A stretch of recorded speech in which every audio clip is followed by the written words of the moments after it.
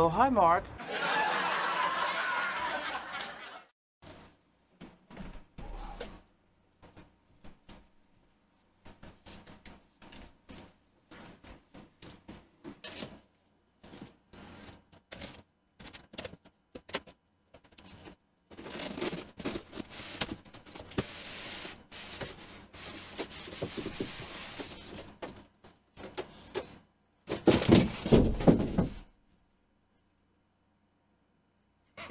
That's it. There's no room to throw it down here. The Asus XG32VC, 170Hz variable display monitor for gamers, but also a color accurate monitor for creatives. But is it any good?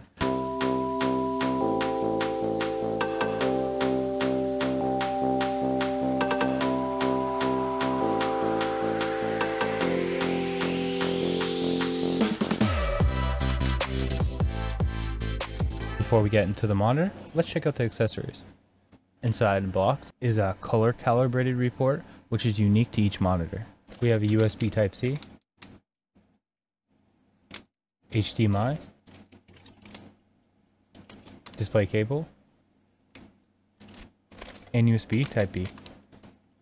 Also included is a 120 volt AC adapter.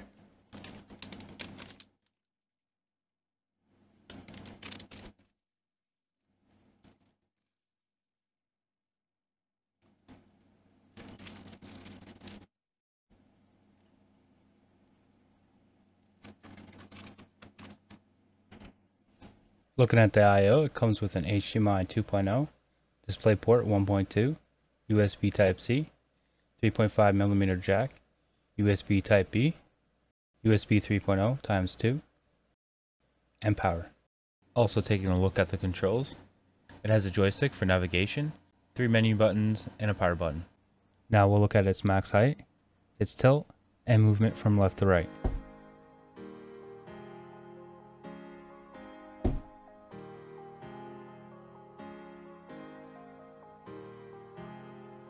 The max tilt on the monitor is minus 5 degrees and plus 20 degrees.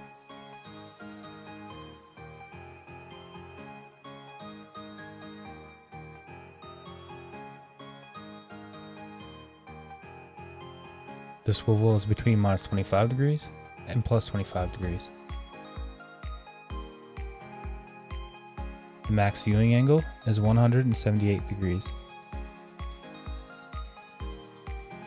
All right, let's uh, pop on over in the menu and we'll see what options are available to us.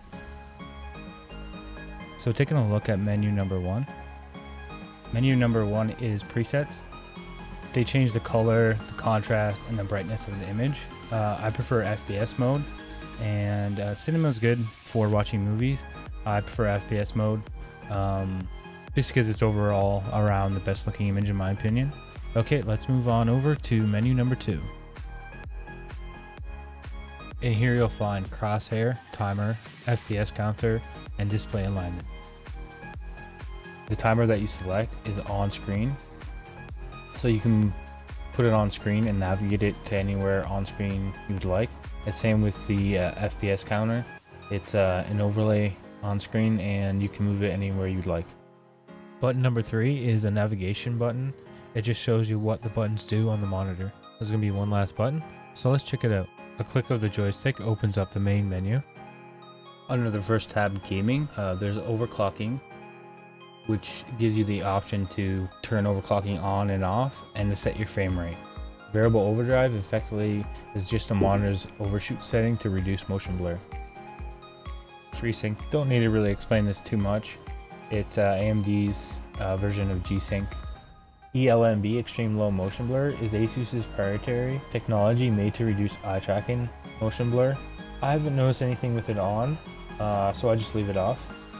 Games Plus is the same options we found over menu number 2, and we'll just skip over it. Same with Game Visuals, that was menu number 1. Shadow Boost, uh, there's three options for this. I don't use it because it does crush some blacks in some games, so I find I just turn it off. Or I might use level 1 depending if I found the game a little too bright but usually I'll have it off.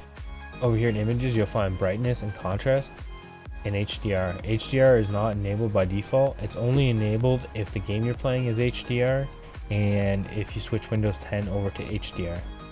Vivid Pixel. Vivid Pixel is Asus's attempt to sharpen each pixel. Um, usually you see this on low resolution monitors. Um, I don't use it. I don't enable it um, because the, the more the monitor has to work, harder it is for the monitor to keep up. Asus's smart contrast ratio is supposed to enhance its uh, dynamic contrast up to 100 million. Um, I've tried it. It looks pretty amazing, but I find it that it will adjust um, the brightness not always at the correct time. So essentially, it's based on it analyzes if the scene's dark or if the scene's bright, and it will change to that. I mean, it's fairly good. It's pretty good, uh, but for me, I want the most pixel um, response time. I play a lot of FPS, so the less. I mean, it's good if I'm just browsing or like watching a movie or whatever. Um, but for me, uh, if I don't need it, then I generally tend not to use it. Blue light level, there's four options for that. Next menu color has color temp, gamma, and saturation. I prefer warm for movies and cool for gaming. Up next is uh, input select, pretty self-explanatory. The monitor comes with an RGB ring on the back that you can control. There's six options you can choose from, and this is where you turn it on and off, and these are the options. In the My Favorite menu, you can customize the three menu buttons. Last up is System Setup. You'll find things like language, sound, USB setup, uh, power indicator. I'll let you guys take a quick look at this and then we'll jump on over into Blur Buster. Hey guys, uh, editing Sean here. Uh, just in case you want to know how to reset the monitor to factory default, it's under System Setup. It's going to be the last tab and there'll be an option to check it on or off. Alright guys, let's get back into the video. Here's my results from blurbuster.com. Looks pretty good. Not really seeing that much uh, ghosting. Looks uh, looks good. Uh, I've done a lot of testing in game, and I don't see any uh, ghosting there either. So we'll jump over and we'll look at my Samsung IPS monitor to this monitor and we'll look at the color and we'll look at the contrast. Here's a side-by-side -side comparison of the Asus XG32 VC compared to my Samsung 32-inch LC32 F39.